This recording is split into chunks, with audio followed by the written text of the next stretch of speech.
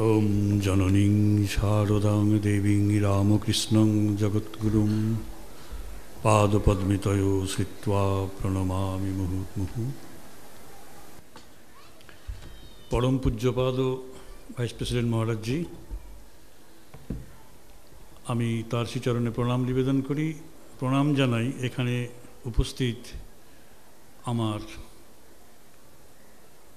Senior সন্ন্যাসীবৃন্দ তাদের প্রীতি এবং শুভেচ্ছা জানাই যারা আমার সমবয়স্ক এবং অনুজ প্রতিম শ্রদ্ধা এবং শুভেচ্ছা জানাই সুধী ভক্তমণ্ডলীদের। আমরা দুটি বক্তৃতা শুনলাম। হিত কামানন্দজি শ্রীমার তপস্যার দিক খুব সুন্দর করে আমাদের কাছে উপস্থাপন করলেন। তপস্যার প্রয়োজন আছে, আমরা সবাই জানি, কিন্তু কোন তপস্যা? একই মায়ের ছেলে একজন তপস্যা করে নিদ্রায় অভিভূত হলেন, তার নাম কুম্ভকর্ণ। আর একজন তার নাম রাবণ।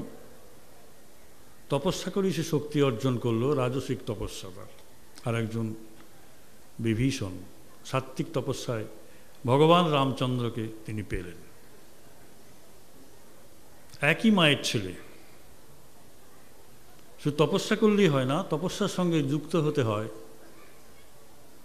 আমাদের অ্যাটিটিউড যেটা।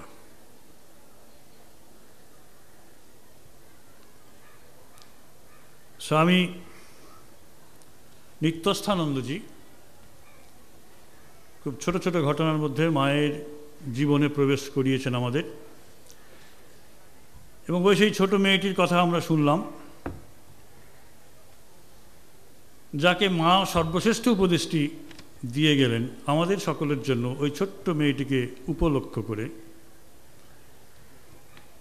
কারও কাছে কিছু চেয়েও না। ছোট্ট মেয়ে, সে যেমন বোঝে, তাকে সেইভাবে বোঝানো হলো। সে সবার কাছে জিনিস চায়, তার প্রয়োজন বেশি। মা ঠাকুরুন আমাদের শোনালেন যে আমরা যারা বড়রা, তারাও যে অনেককে ভালোবাসতে পারি না নিজের মতো করে বা সবাইকে সমান করে তার কারণ, প্রত্যেকের কাছেই আমরা কিছু না কিছু জিনিস চাই। না পেলেই আমাদের ভালোবাসার তারতম্য আসে। অদ্ভুত জিনিস। স্বামীজি আমাদের শুনিয়েছিলেন যে কারোর যদি উপকার করতে হয় তাহলে তার স্তরে গিয়ে তাকে সাহায্য করতে হবে। আমি পেডেস্টালে দাঁড়িয়ে আছি, তুমি আমার কাছে এসো, তবে তোমাকে সাহায্য করব। সেভাবে তো হবে না। সে একটা কচ্ছপ কাদার মধ্যে পড়েছিল, আকাশে চিল উড়ে যাচ্ছিল। প্রার্থনা করেছিল যে আমাকে বাঁচাও, এ কাদা শুকিয়ে যাচ্ছে। চিল তারা বলেনি কিন্তু যে তুমি আমার কাছে এসো, তবে তোমাকে সাহায্য করব। তারা নিচে গিয়ে কাদা থেকে তাকে তুলেছিল। সেই সেইভাবে সাহায্য করতে হয়। মহারাজ সুন্দর করে বললেন, যে আমি তোমাকে ভালোবাসি, তোমার সম্পূর্ণ, সব অপূর্ণতা সত্ত্বেও। I love you as you are এবং সঙ্গে সঙ্গে তার জীবনে পরিবর্তন এলো। আমরা পরীক্ষা করে দেখতে পারি।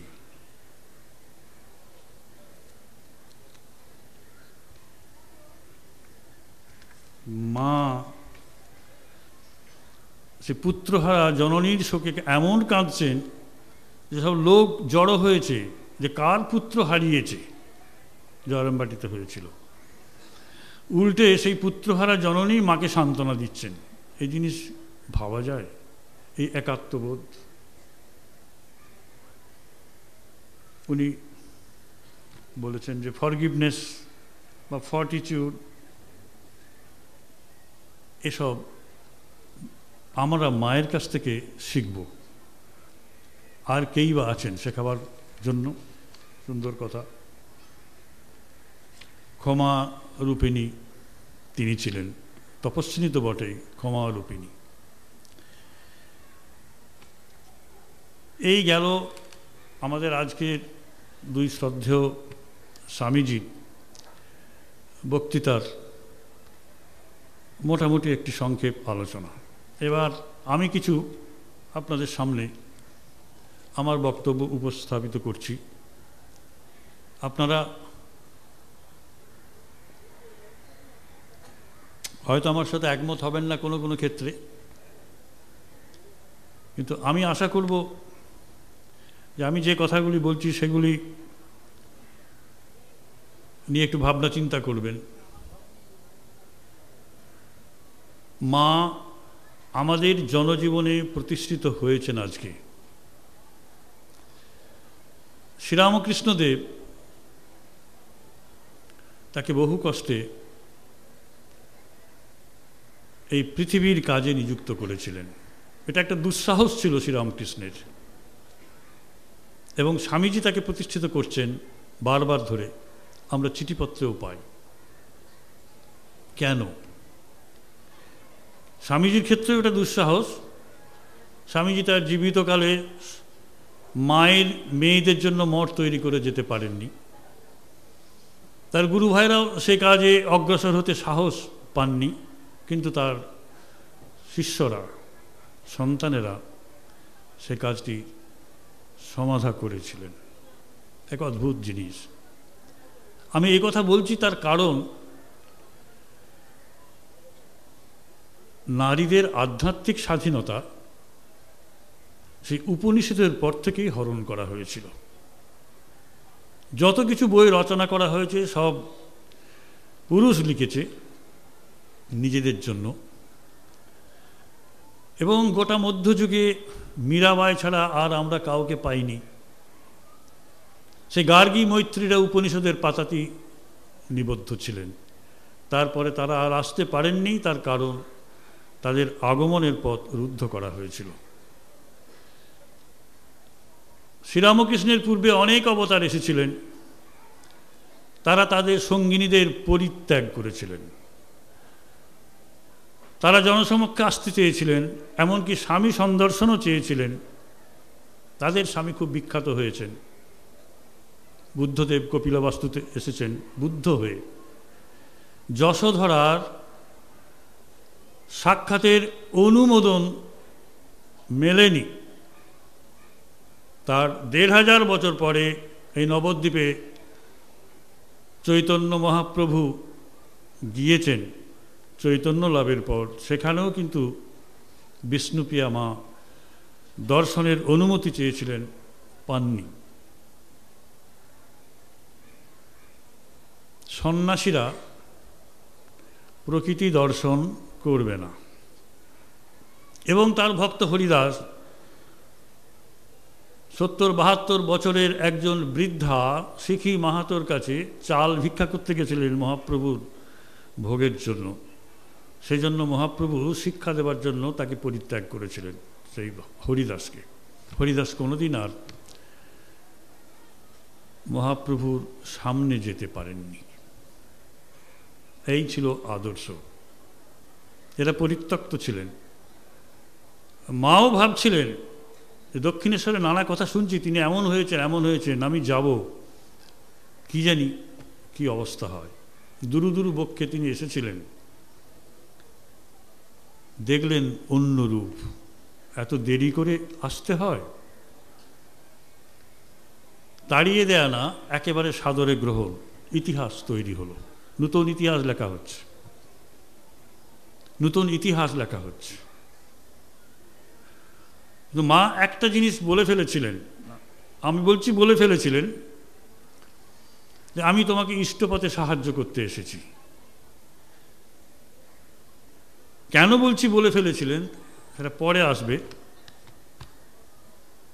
সচেতনভাবেই যদি বলে থাকেন, তাহলে পরে ঠাকুর তাকে যখন বারবার বলছেন, এ আর কি করেছে? তোমাকে অনেক কিছু করতে হবে। তিনি বারবার বলছেন যে, না, হবে না। আমি মেয়ে মানুষ। আমি কি করব। এই যে আমি মেয়ে মানুষ, কারণ ইতিহাস আমাদের জানিয়ে দিয়েছে, মেয়ে মানুষের হাতে কখনোই আধ্যাত্মিক জীবন গঠনের ভার অর্পিত হয়নি এর আগে। সেই বঞ্চনার ইতিহাস ওই একটা কথাতে সৃষ্টি মা ঠাকুরকে বলেছিলেন। কিন্তু ঠাকুর শোনেননি, বলেছে, বলেছিলেন, এ আর কি করেছে? তোমাকে অনেক কিছু করতে হবে।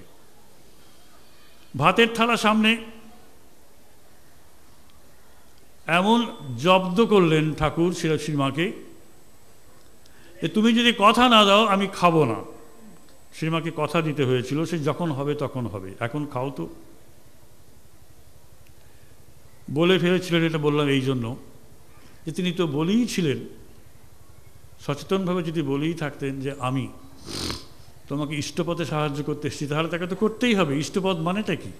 তিনি যুগধর্ম স্থাপনের জন্য এসেছিলেন, সেই কাজে তাকে সাহায্য করতে হবে। আর আত্মায় নারী পুরুষ ভেদ নেই, উপনিষদে আমরা পড়েছি। তারপর থেকে যে ভেদ আছে এবং অত্যন্ত প্রকটভাবে আছে, সে কথা ভক্তি আন্দোলন আমাদের চোখে আঙুল দিয়ে বারবার দেখিয়ে দিয়েছে। শঙ্করাচার্য বলে দিয়ে গেছে। পুরুষ জন্মের সার্থকতা এবং সঙ্গে সঙ্গে ব্রাহ্মণ পুরুষের প্রশংসা। সে বর্ণাশ্রম ধর্ম স্থাপনের জন্য তিনি এসেছিলেন, সেটা আলাদা কথা। কিন্তু এই জিনিস তো হয়েছে। তাহলে মায়েদের দিয়ে ইষ্টপথে সাহায্য করা, এটা দুঃসাহস। যেটি এই পর্যন্ত কোনো অবতার করেননি। শ্রীরামকৃষ্ণ সেইটি করতে গেছেন। এবং তিনি যদি একা ওই জিনিসটি করে ছেড়ে দিতেন, তাহলে হয়তো এই জিনিসটিও, এই অপূর্ব জিনিসটি হয়তো হারিয়ে যেত। কিন্তু স্বামীজি সেই জিনিসটিকে ধরে রেখেছিলেন। বারবার ধরে বলেছিলেন, মাকে প্রতিষ্ঠিত করতে হবে। তো এবার যে জানা ঘটনাগুলো আমরা জানি, তার ভেতরে একটু প্রবেশ করতে পারি। মা ঘর থেকে বেরিয়ে যাচ্ছেন, ঠাকুর বললেন, দরজাটা ভেজিয়ে দিয়ে যাস। খুব সামান্য কথা। মা বললেন আচ্ছা। গলার কণ্ঠস্বর শুনে, গলার স্বর শুনে তিনি বুঝলেন, এ তো মহা অন্যায় হয়ে গিয়েছে। এ তো লক্ষ্মী নয়। সঙ্গে সঙ্গে ছুটে এসছেন, জোরহাত করে বলছেন, দেখো গো, কিছু মনে করিনি আমি তোমাকে কেন এরকম বললাম? কেন বলে ফেলেছি? তুই বলে ফেলেছি মা ঠাকুর অনেক প্রবোধ দেবার চেষ্টা করেছেন। তাতে কি হয়েছে? তুমি তো না জানতে বলে ফেলেছ, অজান্তে বলেছ। কিন্তু আমরা জানি ঠাকুর অজান্তেও কখনো ভুল করেননি। তার অজান্তেও তার হাতে যদি টাকার মানে মুদ্রা যদি তুলে দেওয়া হতো, হাত বেঁকে যেত। তার সমস্ত নার্ভাস সিস্টেম সেভাবে তৈরি ছিল। কেন এটা হলো? এটা হয়েছিল আমাদের জন্য, আমাদের শিক্ষা দেওয়ার জন্য। এবং আরও বড় কথা, এই ঘটনা লিপিবদ্ধ হয়েছে সব সবিস্তারে আমাদের কল্যাণের জন্য। কারণ ঠাকুর তিন দিন ঘুমোতে পারেননি। বারবার ধরে বলছেন, কেন এরকম হলো? নারীর সম্মান ছিল না সমাজে। এবং আমি আপনাদের খুব জোরের সঙ্গেই বলছি যে আমার পূর্বাশ্রম ওই অঞ্চলে আমি নিজেই দেখেছি স্বামীরা তাদের স্ত্রীদের তুই বলতেন। সেই জায়গা থেকে এসে এই সম্মান দেওয়া এবং সেই সম্মান কোথায় গিয়ে কালমিনেশন পেল? তিনি স্ত্রীকে পুজো করলেন।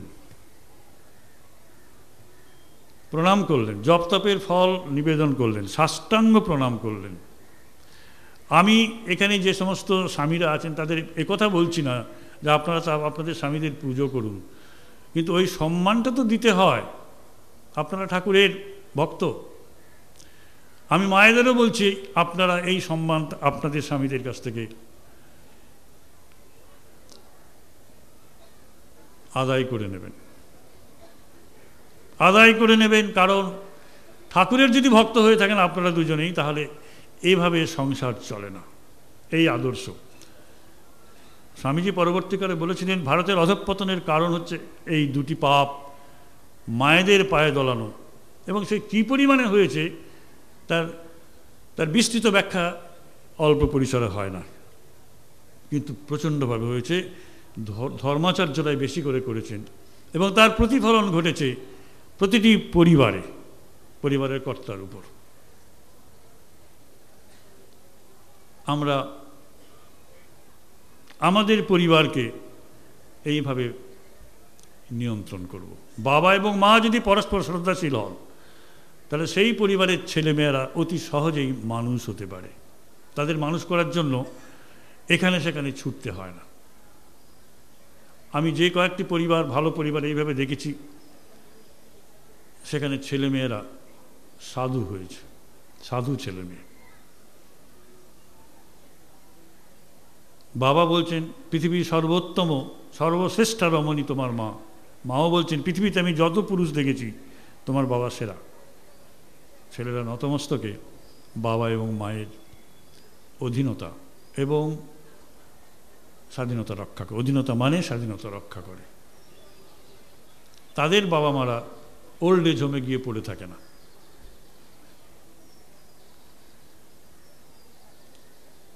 তা ঠাকুর শ্রীরামকৃষ্ণদেব শরীর ত্যাগ করলেন। মা প্রতিজ্ঞা করে নিয়েছিলেন এক প্রকার যে কলকাতার লোকগুলো কিলবিল করছে আছে তাদের দেখতে হবে দেখতে হবে। ঠাকুরের শরীর যাওয়ার পর পনেরো দিনের মধ্যে মা চলে গেলেন বৃন্দাবনে। লাটু মহারাজ ছিলেন, যোগীন যোগানন্দজি ছিলেন, মায়ের সখীরা ছিলেন। সেখানে গিয়ে কি দেখছি? বারবার ধরে ঠাকুর দর্শন দিচ্ছেন মাকে। যোগো যোগিনকে আমি দীক্ষা দিয়ে যেতে পারিনি, তুমি দীক্ষাটা দিয়ে দিও। দীক্ষাটা দিয়ে দিও।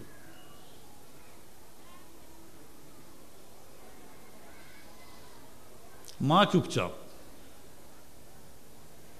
একদিন থাকতে না পেরে এত স্পষ্ট দর্শন হলো যে তিনি তখন মেয়ে যোগিনকে বলছেন, দেখো তো যোগিন, ছেলে যোগিনকে জিজ্ঞেস করো তো, ও কিছু শুনেছে কিনা? ছেলে যোগিনে বলছেন, ঠাকুর আমাকে দর্শন দিয়ে বলছেন যে তুই মায়ের কাছে দীক্ষাটা নে। দীক্ষাটা নিতে হলো এবং তাকে দিতে হলো। অর্থাৎ গুরুরূপে এই পৃথিবীতে প্রথম একজন নারীর আবির্ভাব ঘটল। তাকে শ্রীরামকৃষ্ণদেব অশরীরী হয়েও সেই কাজে তাকে যুক্ত করলেন। এত প্রচেষ্টাটা কেন? এত প্রচেষ্টা কেন?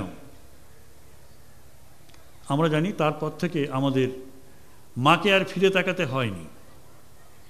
এই বেলুর মঠেই। আমি নাম করব না, একজন এখন প্রয়াত প্রেসিডেন্ট মহারাজি ছিলেন। তিনি বলেছিলেন যে, আমরা আমাদের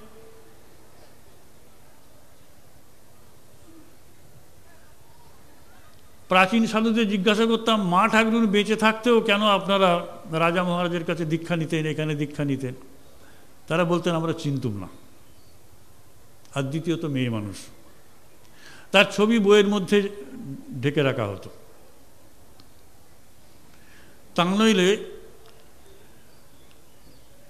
লোকের মুখে মুখে নানা রঙ্গরসের কাহিনী ছুটত, যে মেয়ে মানুষের কাছে দীক্ষা নিয়েছে।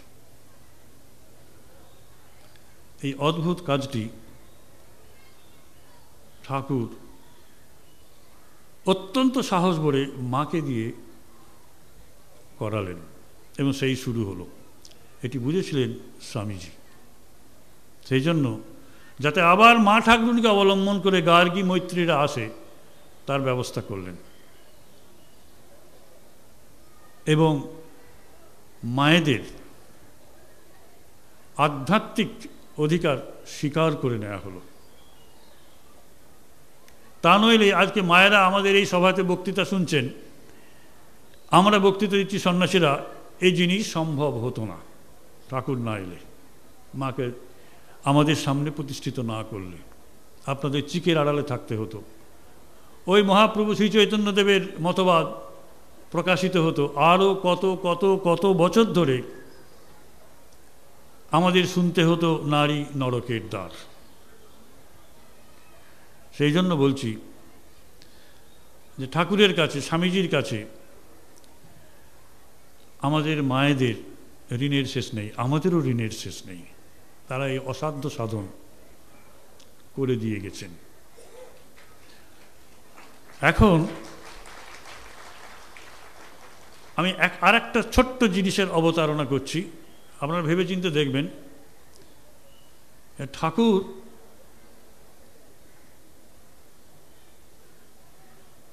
সাধনা করেছিলেন এবং মা ভবতারিণীকে ঈশ্বর রূপে দেখেছিলেন। He realized God in mother Bhavatarini খুব সুন্দর জিনিস। আমরা এটা নিয়েই মশগুল ছিলাম। এটা নিয়েই খুব ভাবতাম। কিন্তু নিবেদিতা আমাদের প্রথম শোনালেন যে স্বামীজির কাছ থেকে তিনি পেয়েছেন এই জিনিসটি। Sri Ramakrishna realized God in O in a woman God as a woman এই প্রথম ঈশ্বর নারী রূপে আবির্ভূত হলেন। মাতৃরূপে ঈশ্বর আছেন। সে মাতৃ দেবী আমরা খবর পাই, পুজোও করি তাদের, কালী দুর্গা। কিন্তু যে কোনো রমণীর ভেতর, যে কোনো নারীর ভেতর ঈশ্বরের প্রকাশ। God as a woman Nivedita স্পষ্ট লিখে গেছেন। তার রচনায়। এবং তারই ফলশ্রুতি এই জিনিস। এবং সেই নারীর চরিত্র বিশ্লেষণ তিনি করেননি। কোন চরিত্রের মানুষ? এখানে তাদের নাম অনেক সময় করা হয়েছে। দুই আমাদের বক্তা করেছেন। আমি সে কথা আর বলছি না, কিন্তু তারা যেমন চরিত্রেরই মানুষ নারী হন, ঈশ্বরকে তাদের ভেতরেও তিনি দেখেছেন। এক অদ্ভুত জিনিস। এবং সেই জন্যই মায়ের প্রতিষ্ঠা, মায়েদের প্রতিষ্ঠা। স্বামীজির এত আকুতি, এত আবেদন। আমরা মায়ের সন্তানেরা যেন এই ভাবটি বুঝে। অপূর্ব মাতৃপূজা, অপূর্ব ঈশ্বর পূজা করতে পারি। শ্রীরামকৃষ্ণদেব, স্বামীজি এবং শ্রী মা, এরা এসেছিলেন আমাদের এই সমাজকে নতুন যুগের আদলে তৈরি করতে। এবং এই কারণেই আমরা বলতে পারি যে স্বয়ং ভগবান শ্রীরামকৃষ্ণদেব অবতার বরিষ্ঠ। আর সবাই তাদের শক্তির প্রতি অবজ্ঞা সম্পন্ন ছিলেন। শক্তির প্রকাশ বা প্রচার করেননি। আমাকে মেধা চৈতন্যদী বলেছিলেন যে দেখো, রামচন্দ্রও সীতাকে পরিত্যাগ করেছিলেন, কৃষ্ণও শ্রীরাধাকে পরিত্যাগ করেছিলেন। সেই ইতিহাসের আলোকে মাকে যদি দেখো, মায়ের প্রতিষ্ঠা যদি দেখো, তাহলে অবাক হয়ে যাবে। এবং শুধু এই কারণেই তিনি অবতার বরিষ্ঠ আর কেউ এই করবা, এই কাজটি করবার সাহস দেখাননি, পাননি। এবং এই জন্যই আপনারা জানবেন যে সেই যুগে তিনি অভিনয় দেখতে যাচ্ছেন, মেয়েরা অভিনয় করছে। একেবারে নীতিবিরুদ্ধ কাজ। সমস্ত ব্রাহ্ম সমাজ নিন্দায় নিন্দাবাক্যে বন্যা ভাসিয়ে দিচ্ছে যে এই কি হচ্ছে? গিরিশ ঘোষ, শ্রীরামকৃষ্ণ, এরা নারীদের অভিনয়, নারীদের দিয়ে অভিনয় করাচ্ছে, মেয়েদের দিয়ে অভিনয় করাচ্ছে, তাদের অভিনয় দেখতে যাচ্ছে এবার এরা। ওরা ছিল অত্যন্ত নীতিবাগীশ ওরা এটা করতেন না। আজকে সেসব পরিবর্তন হয়েছে। মা ঠাকুর নিজে অভিনয় দেখতে যাচ্ছেন। মেয়েরা মেয়েদের অভিনয় করছে। ছেলেরা মেয়েদের অভিনয় করবে। এটা, এটাও কিন্তু ওদের চোখে নারীদের অপমান, এক ধরনের এক ধরনের অপমান। সে মেয়ে, আমরা ছোটোবেলায় দেখতাম, নারীরা, নারীর অভিনয় করেছে এক ছেলে, বড় বড় দলের। সকালবেলা দেখি তারা পুরুষ, আমরা অবাক হয়ে যেতাম যে এই এত সুন্দর অভিনয় করল। অভিনয়? হলো অভিনয়। অদ্ভুত জিনিস। এ সাহস তার তার, তাদের ছিল। একশো পঁচাত্তর বছরেও সে সাহস আমরা এখনও অর্জন করতে পারিনি। মায়েদের সেই প্রতিষ্ঠা আমরা এখনও দিতে পারিনি। এসব আমাদের অনেক কিছু ভাবতে হয়। এবং স্বামীজি এবং এবং- ঠাকুর এটা ভাবিয়েছেন, মা ঠাকুর কিন্তু কোথাও এই বিষয়ে প্রতিবাদ করেননি। মা ঠাকুর কোথাও প্রতিবাদ করেননি। মা ঠাকুর বুঝতেন ঠাকুর কি চেয়েছিলেন, স্বামীজি কি চেয়েছিলেন। এবং তিনি কাজ শুরু করে দেননি তাও না, ওই গৌরী মাকে দিয়ে দুর্গা মাকে দিয়ে সন্ন্যাসিনী সংঘ কিন্তু তৈরি করে দিয়ে গেছিলেন শারদেশ্বরী আশ্রম। ভাবনার, এই বিষয়ে ভাবনার কোনো, অন্য কোনো ভাবনার কোনো অবকাশ নেই। আজকে আমাদের মায়েদের সামনে অপূর্ব পথ খুলে দেওয়া হয়েছে। পৃথিবীর ইতিহাসে বিরল। খ্রিস্টানদের ভেতরে মাতৃভাব নেই। নারীদের ভেতরে মায়ের ঈশ্বরের ভাব গ্রহণ করা বা দেখা, এই জিনিস আমরা পাইনি। ইসলামে তো নাই। এবং দ্বৈতবাদেও নেই। শুধু অদ্বৈতবাদে আছে আত্মায় নারী পুরুষ ভেদ নেই, তার প্রকাশটা কোথায় হবে? মাকে অবলম্বন করে স্বামীজি এই কাজটি শুরু করে দিয়ে গেছেন।